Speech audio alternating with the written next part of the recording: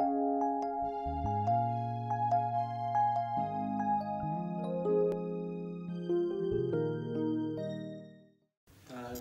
thank you so much. You're most welcome to another presentation.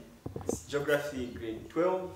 And today we're going to look at transport and communication. So we have a few minutes to cover uh, some information under transport and communication. I think we all know to say transport and communication is so vital in any country at national and also at global level. Now, there are just some parts that we're going to cover under transport and communication. So the first part that we're going to cover under transport and communication, and as we look at this topic, we'll cover both what is happening in Zambia and also what is happening in the sub-region. So you must be able to marry the two, what is happening within the country also outside the country, the sub-region in particular. So to start, we're going to look at uh, the importance of transport and communication.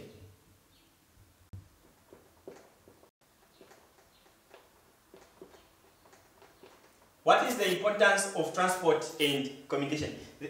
There are many reasons as to why we can justify uh, transport and communication being important in the running of any country, in the production, in the stability of any economy of the world. So importance number one, why transport and communication is important. Number one, it is exchange, exchange of information.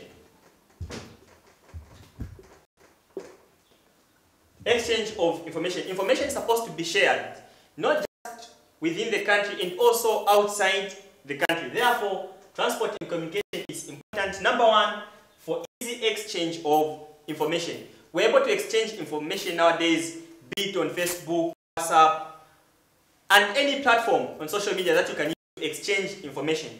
Therefore, transport and communication is important for easy exchange of information. Reason number two why transport and communication is important is uh, increased land value.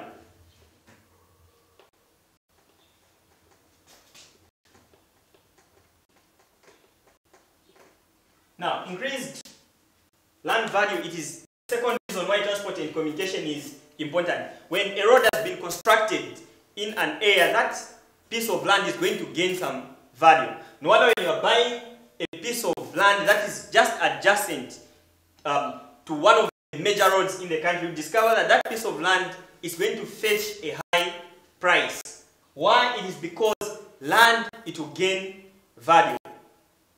Construct a road in a rural area, that place is gain some value. The second, I mean the third reason why transport and communication is important is for easy movement of goods.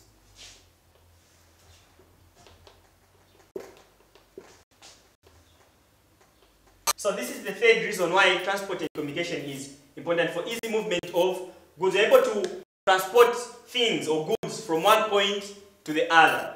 Fourth reason why transport and communication is important is for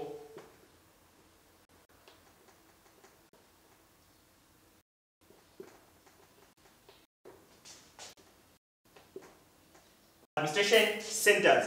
Now, why administration centers? It's because most of the HQs for different ministries, for example, in, um, in Zambia, talk about Ministry of Education, Health, Ministry of Finance, you discover that they are centered in places where there is good transport and communication.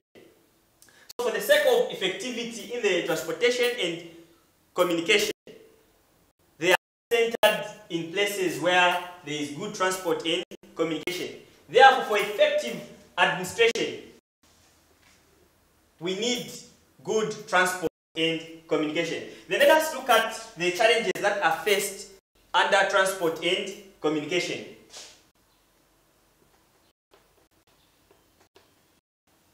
Now, what are the uh, what are the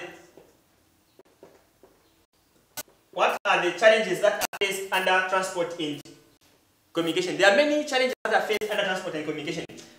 The first challenge that we have it is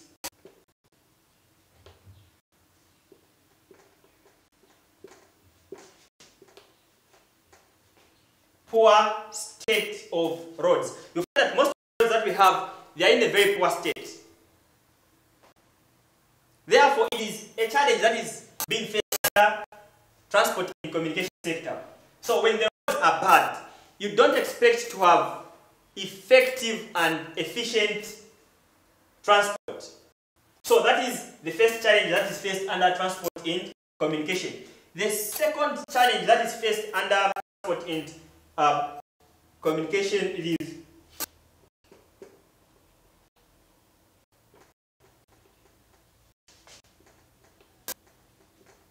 inadequate safety. Let's say someone is moving from Zambia, maybe going to Congo or South Africa. You find that along the way, there is no safety which is guaranteed. People are at risk in their movements. Therefore, this is also another challenge that is faced under transport and communication. Let's go to the third challenge that is faced under transport. So the first one, poor state of roads. Number two, inadequate safety. Number three, the third uh, challenge that we have, it's uh,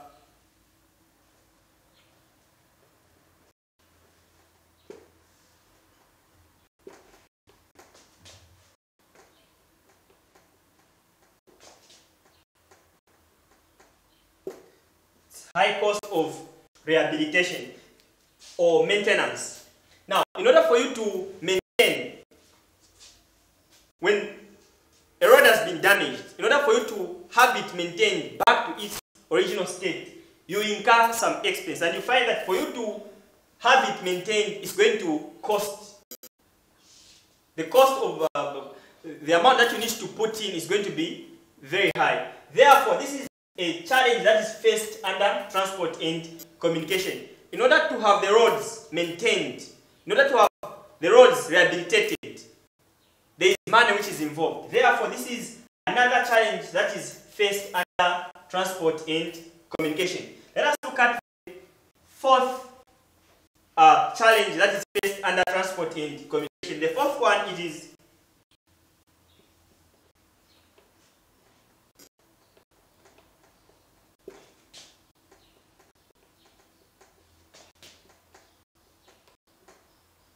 is poor relations among countries. Some of the countries you find that they are not good terms politically. So if we have a good road in Zambia, which is leading to South Africa, if Zambia and South Africa or any of the neighboring countries in between, if they are not in good terms, they may not come together to maintain a road. You will find that maybe in Zambia we have a road which is in bad state, and in other countries they have roads which are well maintained. So if countries are able to coordinate then we're going to have roads at the end of the day that are in good state. So these are some of the challenges that are faced under transport and communication. Now, in the next uh, two to three minutes, let us look at the forms of transport that we have.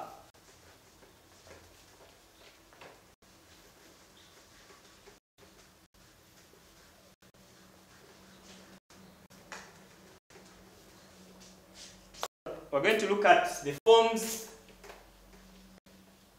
of transport.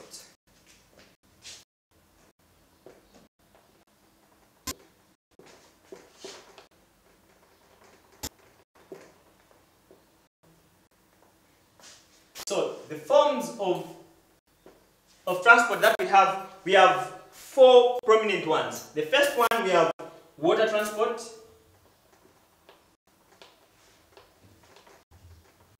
Then the second one, we have um, railways. The third one, we have roads. The fourth one, we have airways.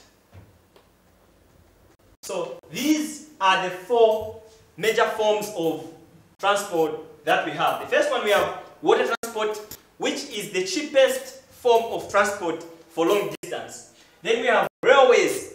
Railways, it is the cheapest within the country in most cases. It is also one of them. I'll give an example. In Zambia, we have the TAZARA, Tanzania Zambia Railway Authority. Then we have roads. Roads in Zambia, we have major roads. I'll give an example of the Great East. We also have the Mumbwa Road, which is called the Great West. Then we also have Livingstone Road, which goes to province. We have Kafue Road. We also have the mighty Great North Road. So, roads, it is just another form of transport that we have. Then we have the airways. In Zambia, we have the airfields as well as the international airports. The major international airports that we have in Zambia, there are only four. The first one, we have the Kenneth Kaunda International Airport. The second one, we have Harry Mwaanga Nkumbula in Livingstone. The third one, we have the Mfuwe International Airport in the eastern part of Zambia. And the fourth one, we have Simon Mwansa in Ndola.